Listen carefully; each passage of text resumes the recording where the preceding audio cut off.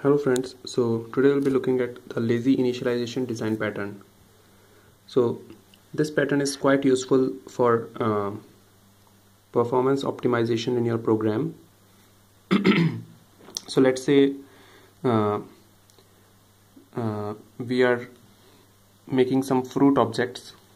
So as we discussed in the last time's multi-ton design pattern, uh, where we used a fruit factory to get the instances of some fruits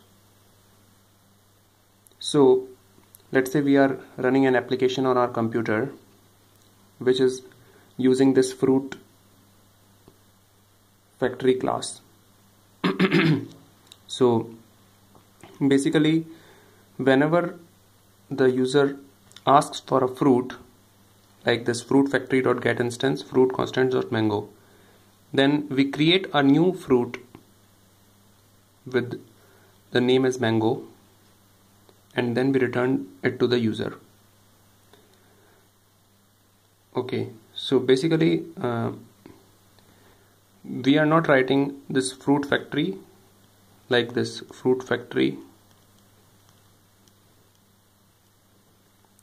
Let's say class fruit factory.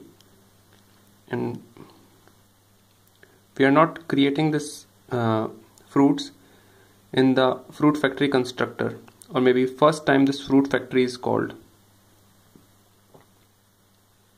Like when the class is loaded we don't create these fruits when the class is loaded or uh, when this fruit factory's constructor if it is there then it is called.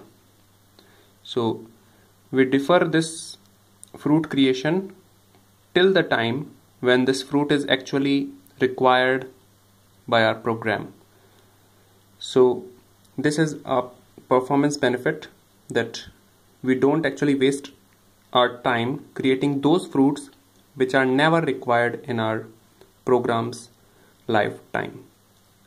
So let's say our program just requires apple and grapes. Then we won't create banana and mango. So this will save some resources of our computer and uh, this is good performance benefit.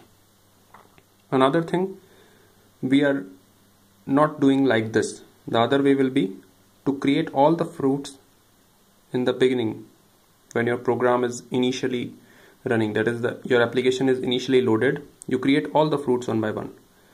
So that way, if you do that way, your application will take a lot of time to load in the beginning.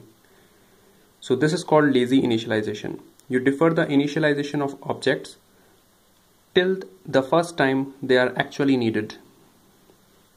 Hope you understood. Thank you friends.